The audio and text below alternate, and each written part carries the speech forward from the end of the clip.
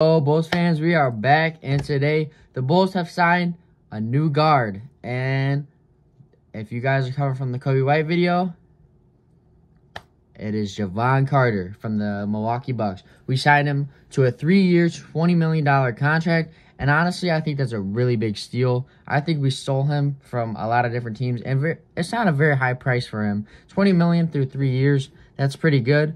It's around seven, like six and a half a year. So I think it's a steal because he could definitely provide off the bench. Off, not the bench, the bench. He could provide off the bench. He he brings that defensive mentality, and he's a dog on defense.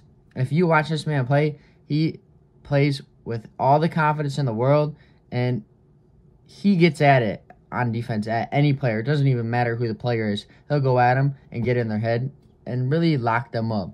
But let's talk about his stats a little bit this season with the Bucks. So he averaged eight points per game, about 25 rebounds, or not 25, two and a half rebounds per game, and about two and a half assists per game. Shoots 42.3% from the field, and the biggest thing that stands out when I looked at his stats, 42.1% from the three-point line this year.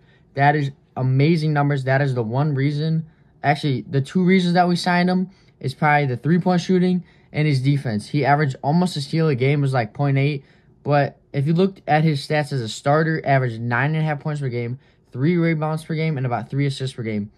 Average a steal a game and 42.6% from the three. So he he could shoot the three ball. He's a I, if you watch his tapes, he could really shoot that three ball. And he's a dog on defense, as I was saying. He can do everything on defense. He'll stay in front of play, players. He'll get in their heads. He'll lock them up. You know, he does his thing.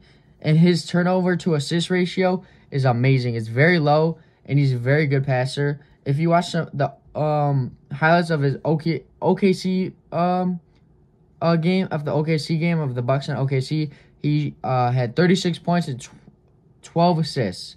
So he can dish the rack and he can do a lot of different things on the offensive end and the defensive end. So I think this is a great signing for the Chicago Bulls.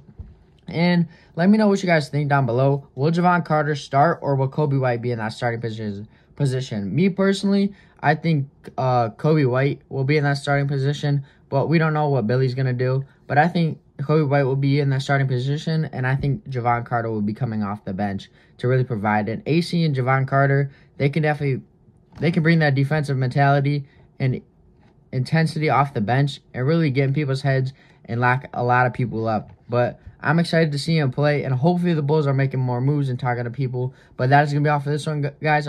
Let me know what you guys think down below about the Bulls signing. And you already know, hit that sub button and see Red Bulls Nation.